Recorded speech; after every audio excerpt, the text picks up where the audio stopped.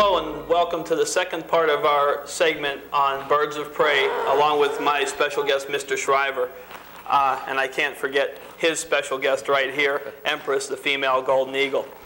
Uh, what we're going to talk a little bit about on this part of the segment is we're going to start off talking a little bit more about the golden eagles and some of their habits and mannerisms, as well as uh, a little bit about the bald eagles and their comeback and other hawks that are found basically native to the east, not so much Pennsylvania, but to the east.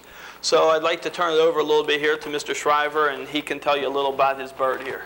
Well, she is a six-year-old golden eagle. And like the male, as far as she's concerned, I'm the resident mate. And what we're doing here is our courtship. Uh, they, birds in their courtship sit alongside of each other and preen each other's feathers. Now, she does have a hard time finding enough hair on my head to work on, but she, she'll work on the hair on the side of my head. But they sit there and preen each other's feathers and yawn, which says a lot for their courtship. But uh, what's the matter, Toots? The, uh, all birds of prey do this, and I've seen most of them in their courtship. I might also add that these birds mate for life. Uh, they, uh, once they are paired up, they stay paired until something happens to one of them. Uh, and while they do mate for life, they have a very short mourning period. If it takes more than two days to get a new mate after something happens to the original, something's wrong. In fact, I've seen them uh, get a replacement the same day that something happened to the original.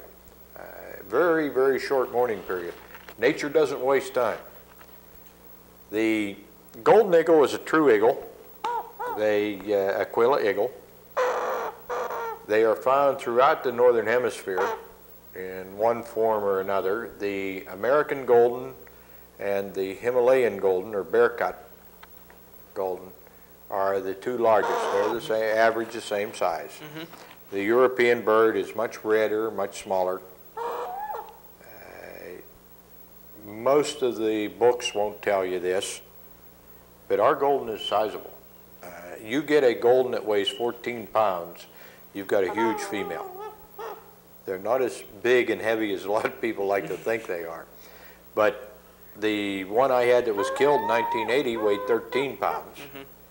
Furious when Lou hunted with her in Idaho in three winters killed 23 coyotes. 20 years ago in Cleveland, tied to a perch in his backyard, she killed his neighbor's 85-pound German Shepherd.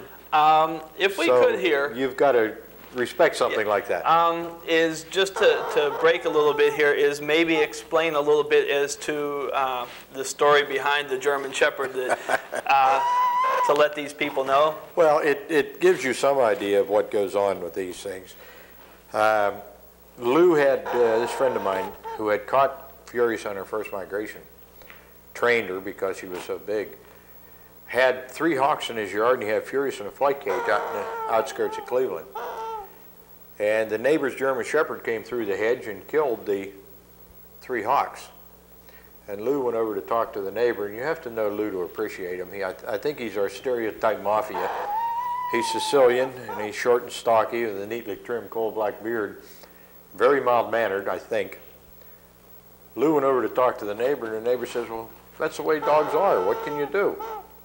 Lou didn't say anything. Went back, got Furious out of the flight cage, put swivel, leash, eight-foot leash on her. Put her in the backyard on a three-foot perch. Went in the house, sat down, got a cup of coffee, sat down in the dining room where he could watch. He knew what was going to happen. Dog come through the hedge, saw the eagle come glomping up. Furious just come down horizontal. When the dog got within range, she come off at him. Seven foot three wingspan. Her front hook was two and three quarter inches long. Her hind one was three inches. You put her foot on a flat surface, it spanned 11 inches. And you're talking a bird with enough power in its feet to crush the bones of your forearm. Well, she hit that dog head and shoulders, clinched, released, and went back in the perch. The dog was dead. Hind hook had gone through the breastbone and through the heart. So Lou gathers up 85 pounds of German Shepherd, carries it through the hedge, lays it on the guy's back porch and rings the doorbell. The guy came to the door and ah, and Lou says, well, that's the way eagles are. What can you do? But it gives you some idea the power of these things. The old-time falconers used to take the big hens, train them, and successfully hunt timber wolves with them. Mm -hmm. Uh, They're just a tremendously powerful bird, much more powerful than the bald eagle. But the bald eagle is not a true eagle, where the golden is. Right. The true eagles are feathered down to the toes. The bald eagle is, well, they, the family is sea eagle, overgrown fishhawk. But the bald eagle is only found in North America, where the golden is found cosmopolitan in the northern hemisphere. But the bald has made a great comeback since uh, we quit using DDT, the savior of mankind, turned out to be almost a disaster. Uh, We went from a low of slightly under 5,000 birds in the lower 48 states in 1964 or 65. The last count I had was two years ago, 17,000. So we're better than, uh, better than three times increased. Uh, We've got five pair of balds at Pymatuning. I think there's only three of them breeding because two of them have new mates. And sometimes when they acquire a new mate, it'd be three or four years before they actually breed. Uh, There's a pair at Erie National Wildlife Refuge. Been there for a couple of years. We've watched them in their courtship, have not built a nest yet. And then there's a pair at at Kinzua. Uh, Again, no nest. We keep getting told about nests, but all we can find is red tips. Uh, A small eagle nest is five and a half foot cross and five foot deep. That's a small one. And that's one awful lot of sticks. I mean, that is big. Uh, the classic eagle nest, the tree finally gave up and fell over. Was out in Vermilion, Ohio. It was a bald eagle, had used it for, I think, 55 years. The nest measured seven foot across, was 23 foot thick when the tree gave up and fell over. Uh, Figure it weighed somewhere between four and seven tons. It's a lot of sticks. Um, One thing also that I'd like to mention again here, while we're talking about the bald eagles and bald eagle nest, is for the most part, if you find a bald eagle nest, it will be in a place like Pymatuning or uh, surrounding areas, and they are protected by the Game Commission. They are cordoned off with ropes and generally for quite a few hundred yards. The reason for this is before they did that, people were curious and going up to the nest, and as a result, the eagles weren't breeding. So if you do by chance, and if you do, it would be a slim chance, but if you do come across a bald eagle that is not uh, roped off or not restricted or anything, do not go near it. Stay back as far as you can. Use binoculars. That's what binoculars are made for. Please use them. Do not disturb these birds because, as Mr. Shriver said, they are on a comeback now and a very successful comeback. And I would just hate to see anything happen to uh, deter this or retard this in any way. Uh, Mr. Shriver, can, uh, you can continue now. I just Well, wanted to put the, that in. uh, uh, one of the things that I, on the eagles, the bald eagle, the golden eagle are on the same law. The law does not differentiate between the two of them. Uh, And the- the penalties are the same. According to the law, you may not possess an eagle or any parts thereof. I can't give the feathers these birds molt away because of this law. You may not possess an eagle or any parts thereof without a special federal permit. Show me a federal permit, I'll give you eagle feathers. But, uh, again, I had a bird killed in 1980. The boys that did the killing, they come in at night, clubbed her to death. The 18-year-old served two and a half years in federal penitentiary for killing the eagle. The 17-year-old got hit with a $5,000 fine for killing the eagle. This is what the federal fines law is on eagles. Uh, They're getting awfully tough on it, too. They don't play, the feds aren't playing games with these things. See if she finds something of interest down there. One thing I'd like to do, uh, I don't know, since she's a little rowdy now, if we can, but uh, is to try to get her hackles to come up to let the people see just one of the uh, defensive things or. Uh, I doubt if she'll do it, but uh, the name Golden comes from the back of the neck, this. That's where they get the name. And they do have big wings. She goes about seven, stretch. She goes about seven foot. I've never had anyone offer to help me stretch her and measure her. I wouldn't try anyway. But she is an average female golden eagle. But one of the things we get into uh, with working with the birds, not just the eagles, mm-hmm. is the banding. And I'm not sure anymore which is more fun to me, the falconry end of it or the banding. Um, We banded last year, and again, it's not a bird of prey, but we banded 27 young ravens in Pennsylvania. Mm-hmm. This year, we went raven banding the 12th and 13th of April, which is the first weekend of trout season. Mm-hmm. And of course, most of our ravens are cliff nesters. They nest on trout streams. And we have to comment about these crazy idiots down there wading around in the water, drowning worms. Us sane people are up there running up and down the cliffs. But uh, we only banded 12. But I saw a raven, and I've been banding ravens since 56. I saw a raven do something I have never seen one do before. We had tried to find a nest on Tuscarora Mountain, right off of Route 30. Park on 30, and there's a little dip down to a creek, and then you got the mountainside. We're over where they had nested last year, nothing there. The black vultures are there, but the raven is not. So uh, we went back to the cars, and we're standing around having lunch and drinking a little schnapps here and there. Raven come over our head carrying a hunk of meat. I hollered at the boys, watch it. He's headed for the nest. Went across to the mountain, got into a flock of turkey vultures. Now, ravens, when they soar, have a wings down attitude. Mm-hmm. Turkey vultures have a wings up attitude. Right. You know that raven was soaring with a wings up attitude? Soared with those turkey vultures, and they slowly drifted up the mountain, and all of a sudden, just like a rock, he dove. And I think all he was doing is trying to make us forget all about him. Right. Went over, and there's a female on three, on four eggs. Very late nest. Uh, so we'll have to go back and band it. And it's on a cliff you can't see from the road. A little cliff you can't see from the road. The most fun I have banding, though, is goshawks. Last year I banded 34 young goshawks.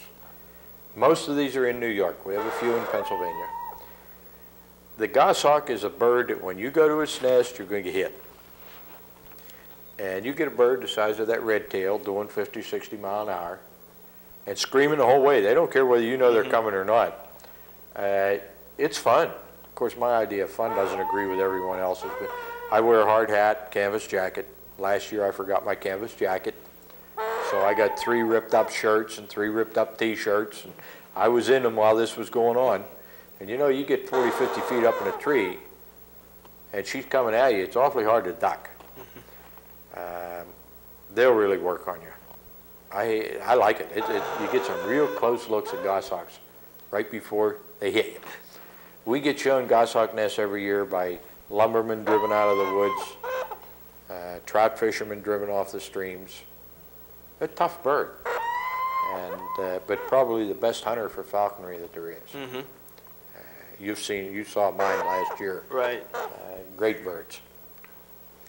But uh, that trip will be coming up, well, I'm going to try to go up into the North Country, I'm talking Watertown and above, Mm-hmm. this weekend to look for goss nests. And uh, then in first week of June, we'll be up there banding. Mm-hmm. So uh, that, that's automatic. First week of June, forget me, I'm gone north. Me and the mosquitoes and black flies. Yeah, exactly. Um, the, uh, as far as banding birds, the, you mentioned the ravens and the goshawk. Uh, I'd like to talk a little bit, uh, we mentioned it briefly in last week's segment, but talk a little bit about banding the red tails as they migrate down the ridge. Uh, I think that may be of some interest Well, it's fun. Um, I don't know that we accomplish a whole heck of a lot because number one, you don't know where that bird's coming from. Mhm. All you know is where it is today and its approximate age. Uh, Where when you're banding in a nest, that's a starting point. You know where the bird came from. When you're trapping on migration, you don't. But it is a lot of fun. Uh, Hard on pigeons. Mhm. Two things were hard on around my place, cats and pigeons. Uh, But uh, the birds migrate to ridges of Pennsylvania in tremendous numbers. I don't think you've been fortunate enough to be out there when you've got several thousand red tails go No, through in a yet. day. Uh, You don't catch many Mhm. because there's too many red tails. Right. But uh, they will do this. We use a pigeon and we use nets. Mm-hmm. and the hawk comes down, grabs the pigeon, you pull the net over. We have a standard policy, any pigeon that catches five hawks is retired for life. I haven't retired one yet. When a red tail grabs a pigeon, very few pigeons survive. And every now and then, one of these things will come in on a pigeon, and that's dead pigeon right now. But we see a lot of birds come through that don't even come to the pigeon because they're not hungry. I only had three days on the ridge last year, and uh, I saw one peregrine falcon. I saw some red tails and caught a few. Caught a bunch of coopers. Uh, saw a lot of sharp shins. Mm-hmm. They're fun. They buzz the pigeon, but the pigeon's three times bigger than they are. I actually plucked one out of the air with a bow net, mm-hmm. buzzing the pigeon last year. But uh, we'll see a few merlins, mm-hmm. osprey, red shoulders, red tails. Broadwings have usually gone through by the time we start trapping, so we don't see broadwings. But we do see goldens, and we see a few balds. Most of the balds don't migrate to ridges. They stay to the waterways. Now, uh, when we talk about the ridge, it's a special place uh, that you have set aside for banding, but if anyone out there is interested in seeing migrating birds during the migration, uh, I guess it's around Harrisburg, uh, the Hawk Mountain Hawk Sanctuary? Mountain's out near Reading. Okay, You're talking uh, six-hour drive from here. Mm -hmm. And a couple problems. Number one, you have to pay to get in now. And number two, you gotta climb the mountain. And I, the geologists telling me these mountains are wearing down, I don't believe them. They're getting higher every year. Of course, Bob Gleason, my geologist buddy, tells me it's because the creeks are wearing the bottoms out more. But uh, anyway, there is a better hawk watch a lot closer to Pittsburgh. Down at McConnell's Mills, take Route 30 east of Pittsburgh, or east of Breezewood, and you'll bypass McConnell's Mills. It goes around the town, mm-hmm. and you climb Tuscarora Mountain. Mm-hmm. As you come over the top, and I mean to tell you, that top is sharp. Mm-hmm. Right at the very top on the right is a mountain top in, mountain view in, something like this. As you approach it, you can see the rock outcropping behind it. You park in their parking lot, walk 100 yards back to the rock outcropping. They have actually taken rocks and built a wall around it so you can sit down in your lawn chairs out of the wind and watch migrating hawks. Uh, Usually there's people there that know their birds. Charlie Brightbill's one. He's a school teacher down there. Every time he gets a sabbatical, he takes it up on the ridge. Uh, In fact, we'll compare notes. We'll trap all day and go down and find Charlie and compare notes as who saw what that day. And usually it's identical. Uh, The only problem that could exist, and really it's, it hasn't been any problem, about three years ago, a hang gliding club bought the cliff.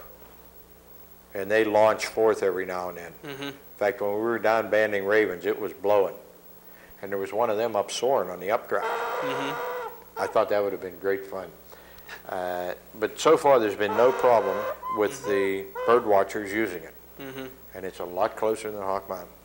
You will see more eagles on Tuscarora Mountain, mm-hmm. which is the pulpit, right, than you will on Kittatinny, which is Hawk Mountain. Mm-hmm.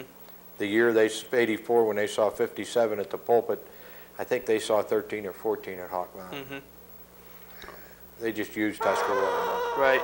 Okay, uh, and just briefly too, if any of you have any questions as to the location of this or any information about it, please just write us or in fact give us a call and we'll try to help you out with finding out where it is. Okay, uh, basically, I think we've covered pretty much of uh, the birds of prey. One thing I would like to talk about that we just mentioned there is the sharp-shinned hawk. Uh, that you really don't see too much of unless you have a pretty quick eye, as from my They're quick. experience. They're small. Uh, In fact, I would say a male sharpshin ever knocks down an English sparrow, he's in for the fight of his life. Uh, They're that small. Sharpies disappeared around here really as nesting birds uh, probably 30 years ago. Uh, The bird popu, the warbler population went down, so on. All of a sudden, we've got Sharpies again. Last year, I knew of two nests, one out of Murrysville, one in North Park. Both of them destroyed by great horns. Both of them, one young survived. I had the little male from the one at North Park. I flew him what we call it hack all summer, let him fly loose, keep him fed, and eventually he left. Mm-hmm. But he would fly around with his convoy of blue jays, and the blue jays were bigger than he was. Mm-hmm. Now, ravening up at Parker Dam, I was back in a red pine planting looking for a raven nest that had been taken out by the tornado, and we knew there was, the ravens were still there. Mm-hmm. The nest is in those red pines someplace, we couldn't find it. And I'm probably half a mile off the road. And all of a sudden, there goes a little sharp, female sharpie out, pretty bluebird, mm-hmm. adult. And I froze. And all of a sudden, here comes a little male in, landed on a dead limb. Mm-hmm. He got a stick about eight inches long in his mouth. He turned around, saw me, and dropped it. Mm-hmm. So I don't know where the nest is, and this is early, but they're building in there. So I just put a blaze on a tree and got out of there. We'll go back in later when they're on eggs. Sharpies are delightful little things, and they nest in the Canadian bush in untold 1000s mm-hmm. and come down the ridges. Mm-hmm. And they keep persistent buzzing, buzzing the pigeon. They want that pigeon, but the pigeon's too big, Exactly. and they're just around that pigeon like a mosquito. Mm-hmm. They're fun.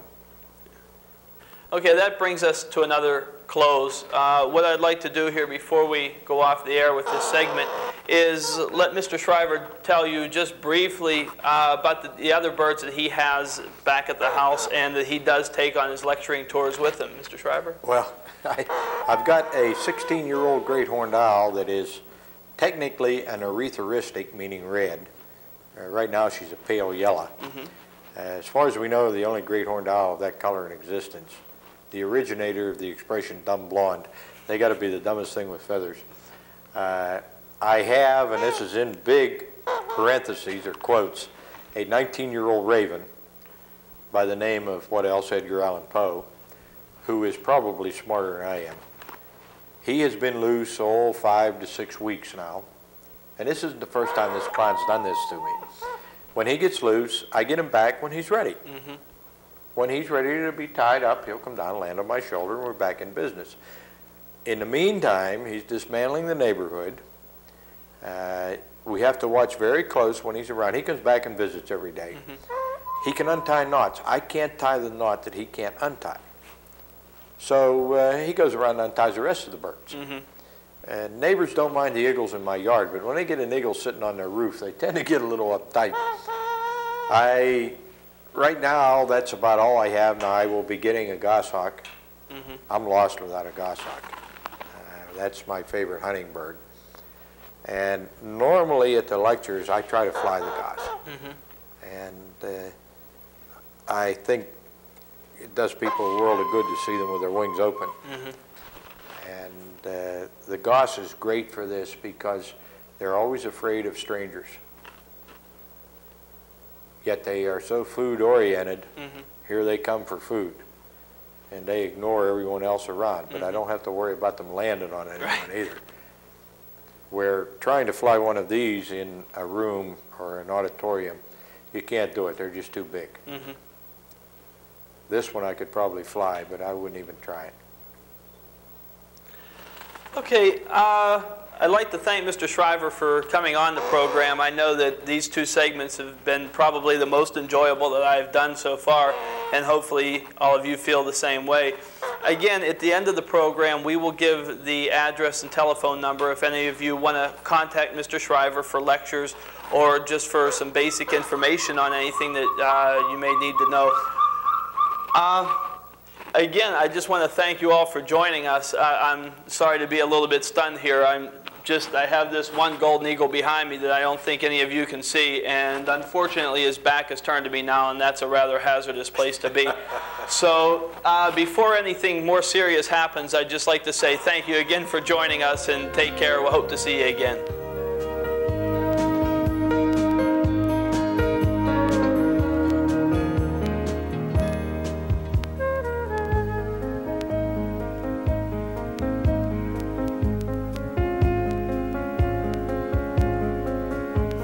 Okay, remember, if you have any questions or comments on the Nature Series, you can uh, get in touch with us by mail.